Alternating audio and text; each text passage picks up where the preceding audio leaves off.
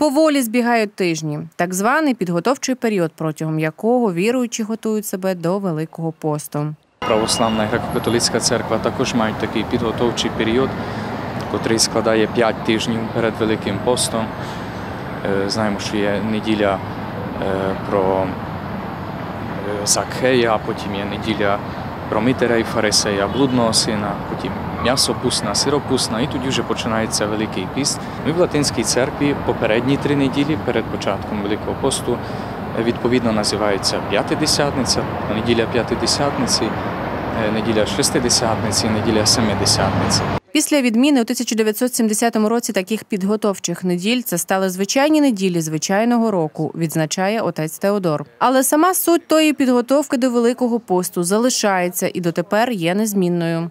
Ціль і суть самої підготовки до посту є в тому, щоб людина е, свідомо бачила перед собою ту ціль, до якої сам піст веде. Великий піст є непростою дорогою до світлого торжества Воскресіння Христового, говорить отець Теодор. Святі отці також кажуть, що е, тим краще буде та дорога, наскільки краще була сама підготовка до тої дороги.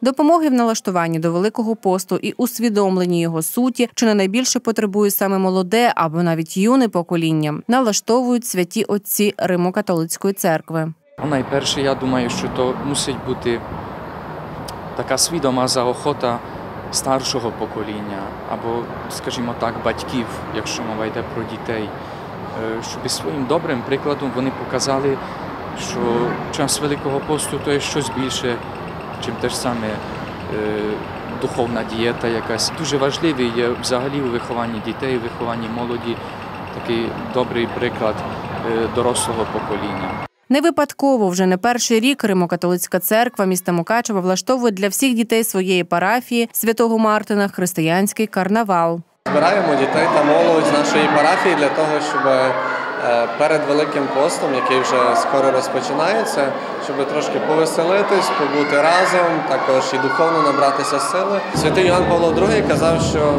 молодь є майбутнім церкви. Папа Франциск сьогодні говорить, що молодь є сьогоднішнім церквою. Без молоді, без дітей е, ми не маємо майбутнього. І ми дякуємо Богу за те, що вони в нас є.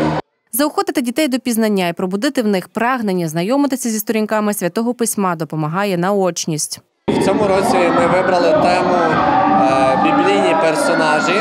Тобто кожна дитина мала одягнути якийсь костюм з біблійних героїв і має знати розповісти про цього біблійного героя, розповісти, коли він жив, що він робив і яке завдання Бог йому дав. Я один із 12 учнів Ісуса. Я, я митер, я почув голос Бога і пішов за ним. Я від Бога, я волю Бога. Звуть мене Мойсей, я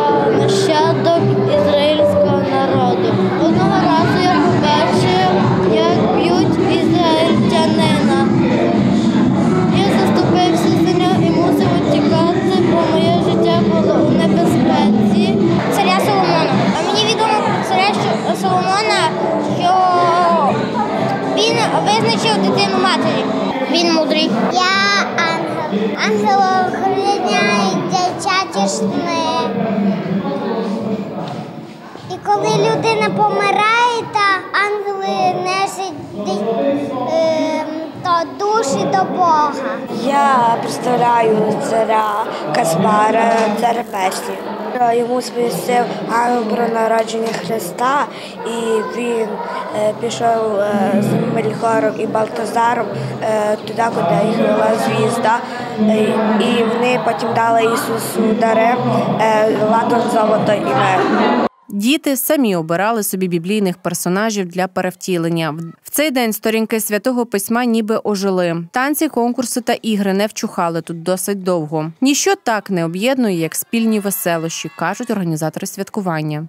Тут е, зібираються такі діти, які, наприклад, ходять по іншим школам міста, живуть у різних куточках міста, але ця нагода якраз для того добра, щоб вони більш зблизилися і познайомилися один з другим.